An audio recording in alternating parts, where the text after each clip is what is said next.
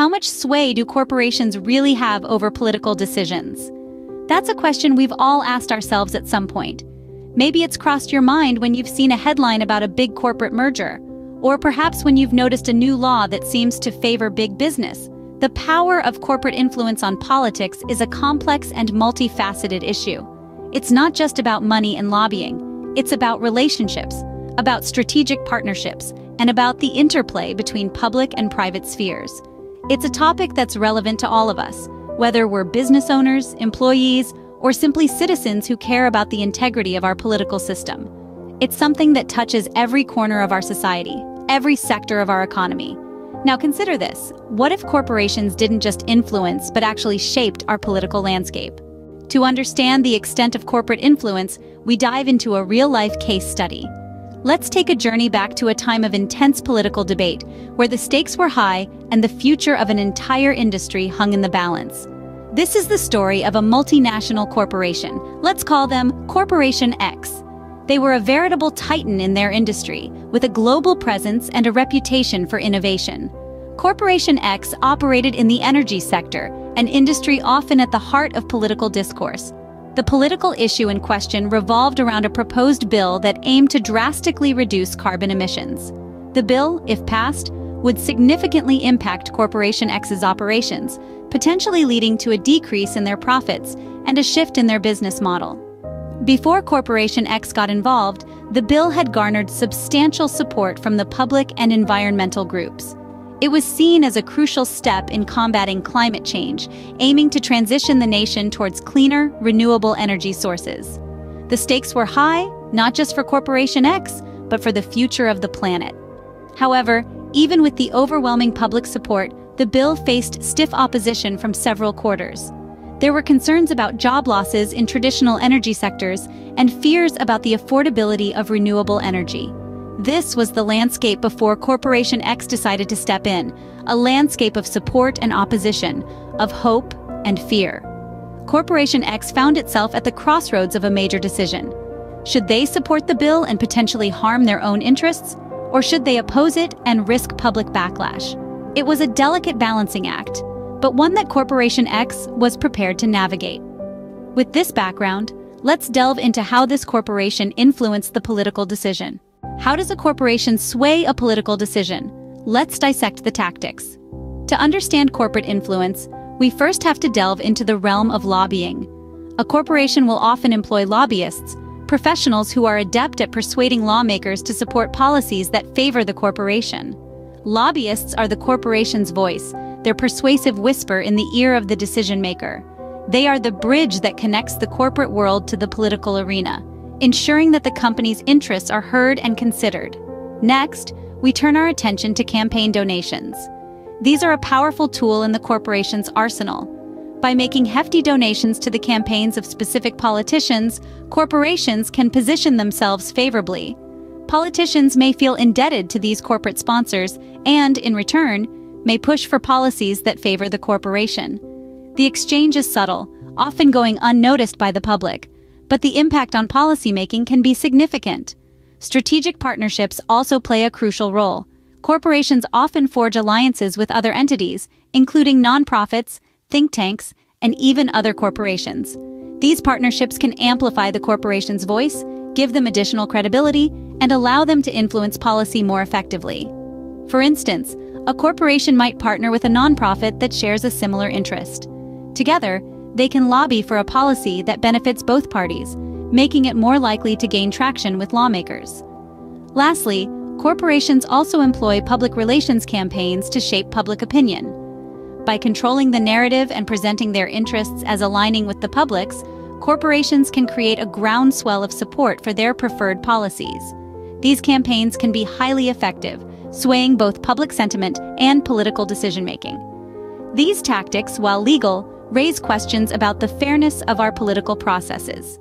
This exploration into the tactics employed by corporations to influence political decisions illuminates the complex and often shadowy interactions between corporations and politicians.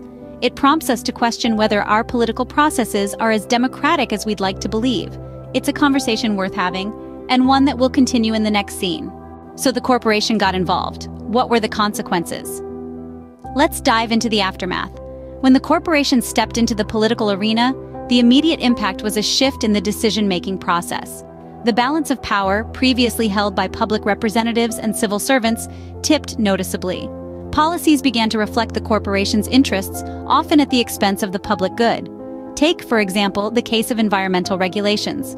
When corporate interests are involved, these rules can be watered down or completely overlooked. The result?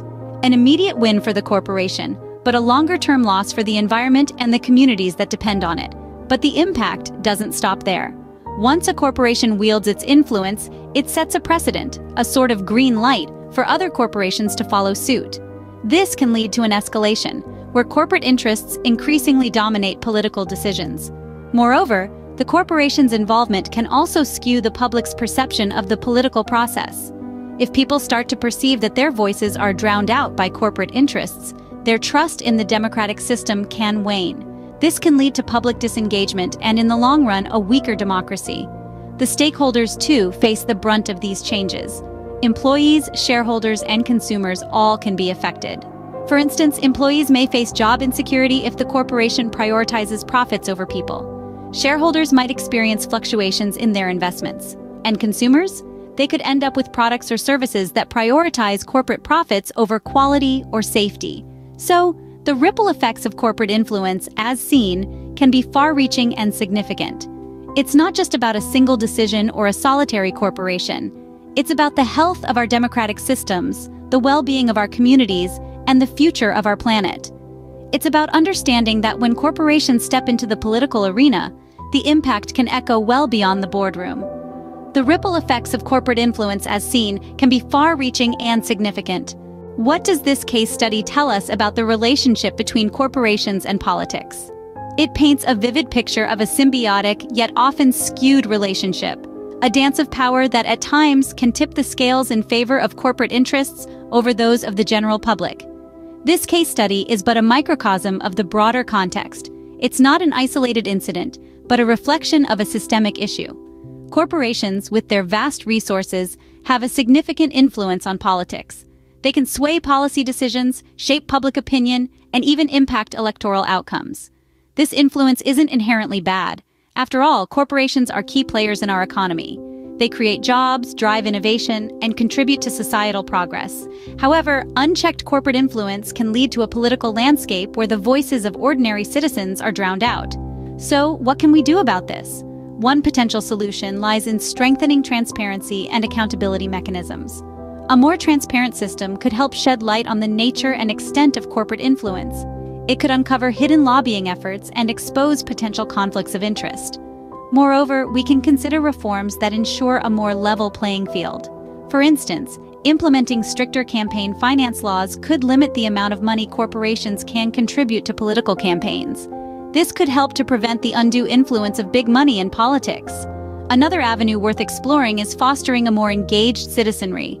Encouraging active participation in politics can serve as a counterweight to corporate influence. When people are informed and involved, they can help hold corporations and politicians accountable. Ultimately, navigating the intersection of corporation and politics is a delicate balancing act. On one hand, we must acknowledge the role corporations play in our society. On the other, we need to ensure that their influence doesn't undermine the democratic process. The power dynamics between corporations and politics, as this case study shows, are intricate and complex.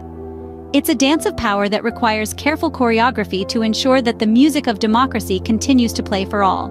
In this short span, we've explored the depths of corporate influence on politics. We've dissected a case study that peeled back the layers of corporate strategies, revealing the tactics employed by big businesses to sway political decision-making. This journey took us through the maze of financial contributions, lobbying efforts, and even the strategic use of media to shape public opinion. We then unpacked the impact of such practices, shedding light on the profound implications they have on our society, economy, and democracy.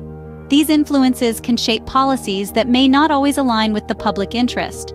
Moreover, we reflected on the broader implications, posing crucial questions about the balance of power, the role of transparency, and the need for regulatory oversight. While corporations wield significant influence, Remember that the power to shape our political landscape lies ultimately with us, The people. Let's continue to question, to engage, and to demand accountability.